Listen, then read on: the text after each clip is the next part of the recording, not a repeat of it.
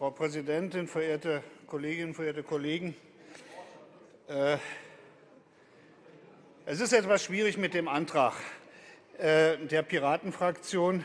Ich denke, es geht ja nicht ausschließlich um das Bauhausarchiv und den Erweiterungsbau. Es geht um ein sehr grundsätzliches Problem.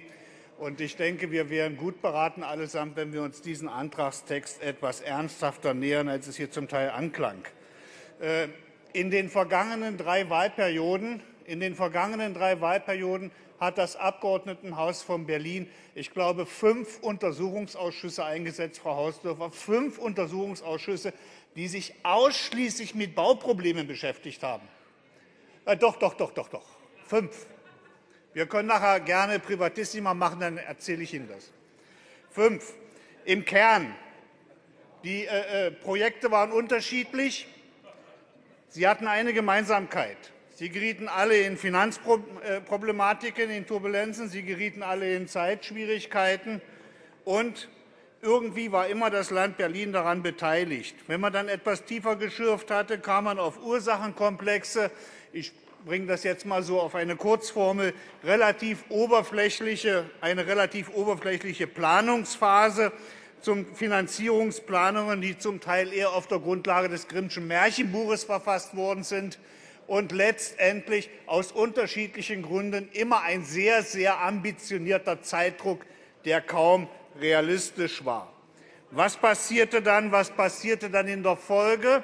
In der Folge war dann der Hauptausschuss immer wieder gezwungen, sich auf der Basis von roten Nummern mit Nachfinanzierungen zu befassen, die unter dem Signet liefen, wir haben einen Baufortschritt, wir können nicht mehr zurück, und es sind unabweisbare Finanzierungsnotwendigkeiten vorhanden.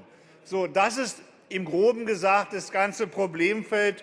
Und wenn die Piratenfraktion jetzt vorschlägt, wir sollten als Landesparlament hier Mittel und Wege finden, um uns im Vorfeld und baubegleitend etwas intensiver mit solchen äh, Projekten befassen, mit ihrer Problemlage, dann finde ich, ist das lediglich ein Ausweis dafür, dass zumindest Teile des Berliner Abgeordnetenhauses gewillt sind, ihre originären verfassungsmäßigen Aufgaben ernster zu nehmen. Das kann man nur unterstützen. Streckenweise, streckenweise ist die Praxis, ist die baubegleitende Praxis im Abgeordnetenhaus von Berlin, Frau Hausdörfer, mit Verlaub, eigentlich nur dazu angetan, uns hier sozusagen selbst als Abnickbude hinzustellen. Und das ist das Abgeordnetenhaus von Berlin nicht wert. Pardon. Schlussendlich sind es immer wieder Steuermittel, die dann hier in den Märkischen Sand gesetzt werden und keine Privatgelder. Vielen herzlichen Dank für die Aufmerksamkeit.